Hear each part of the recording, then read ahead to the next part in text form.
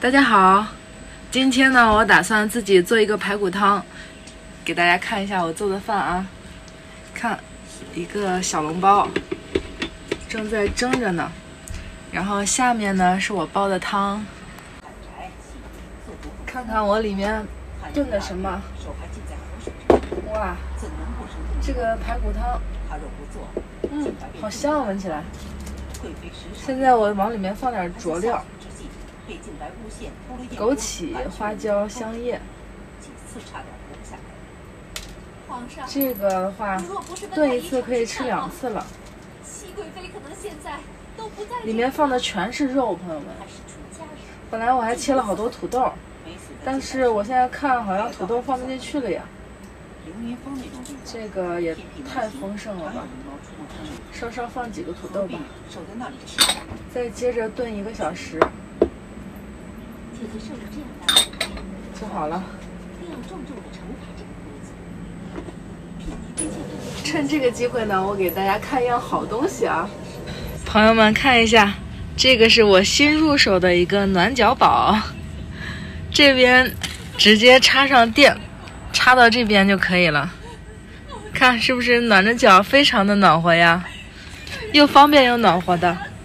趁它炖的功夫，我来看会儿电视啊，一边看着电视一边吃着雪糕。哎呀！这小日子太美好了吧！有好多朋友说：“小森你也太会享受了吧？”我觉得好像有点是啊。有好多朋友说：“小森你一个人太寂寞了，在房车里面捣鼓这个。”但是我不觉得呀，我觉得这个生活很充实，很舒服。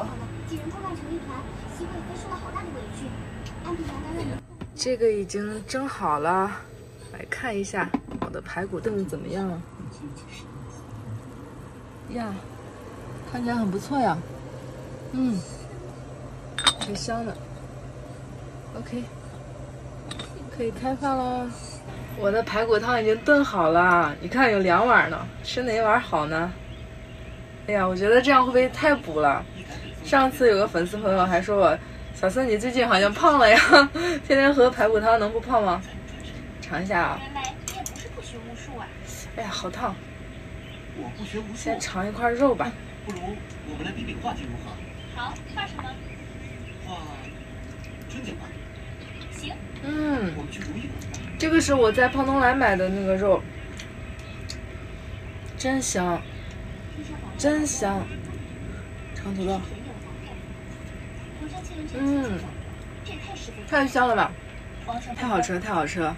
我们如果有机会的话，你也要这样煮个排骨汤啊，太好喝了。一边看着电视，一边吃着我的大排骨，